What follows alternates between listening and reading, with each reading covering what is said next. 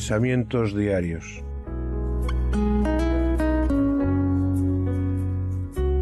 Sencillas pero profundas reflexiones para cada día de nuestras vidas.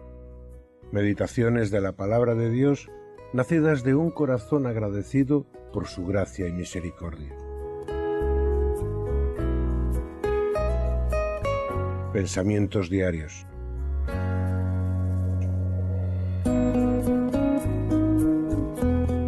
Devocional de lectura personal obsequiado por Radio Luz a las Naciones, canal cristiano de comunicación, con el único deseo de compartir con todos vosotros la esperanza en Cristo que hay en nuestros corazones.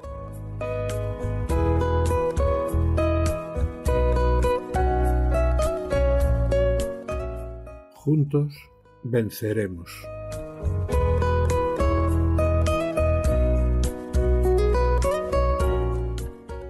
Os ruego, pues, hermanos, por el nombre de nuestro Señor Jesucristo, que habléis todos una misma cosa, y que no haya entre vosotros divisiones, sino que estéis perfectamente unidos en una misma mente y en un mismo parecer.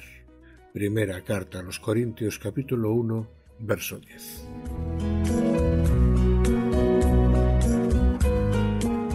Juntos venceremos que en la unión entre los hombres existe una fuerza, un poder que se genera de esa unión, es un hecho más que comprobado a lo largo de la historia de la humanidad. Pero ¿qué pasa con nuestra vida como cristianos individuales?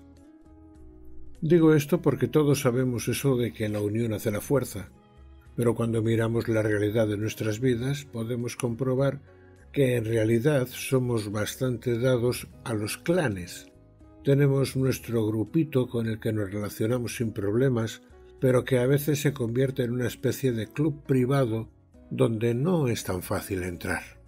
Así, convertimos la Iglesia en un lugar donde vivimos en un conjunto de grupúsculos aislados entre sí, o dicho de otro modo, en una iglesia dividida. Por mi experiencia personal sé que la mayoría de los cristianos no encontramos mayor problema en que se nos considere o trate como hermanos. Pero creo que no ocurre lo mismo cuando nos consideramos a nosotros mismos. ¿Por qué digo esto también? Porque evidentemente nosotros no siempre nos comportamos como hermanos con quienes lo son. ¿Cierto?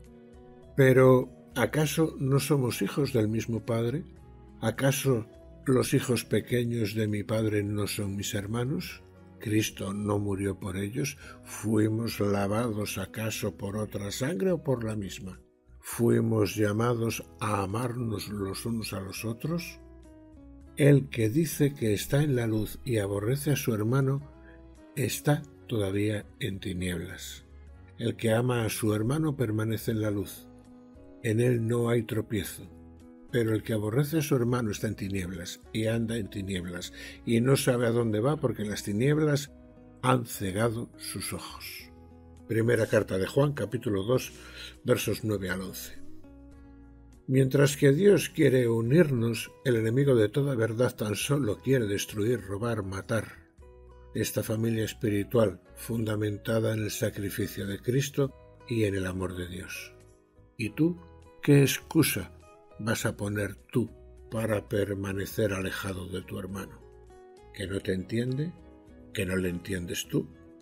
¿Que tiene mal carácter? ¿Que lo tienes tú? ¿Que no te ama? ¿Y tú lo amas a él?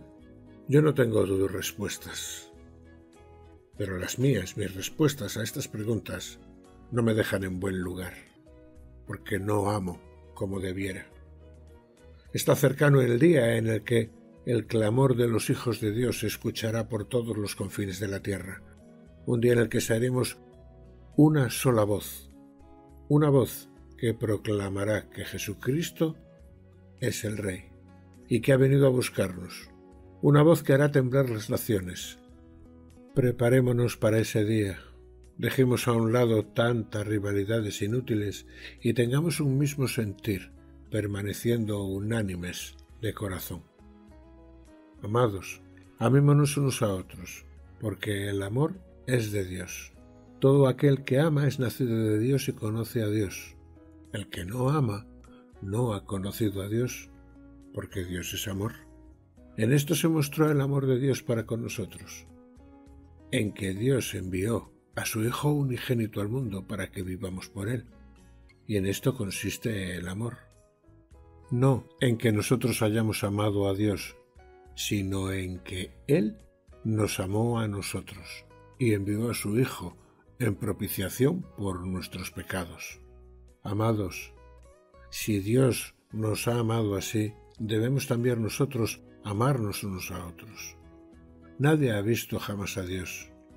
Si nos amamos unos a otros, Dios permanece en nosotros y su amor se ha perfeccionado en nosotros. Primera carta de Juan capítulo 4 versos 7 al 12. Que Dios os bendiga. Pensamientos diarios. Meditando en la palabra de Dios.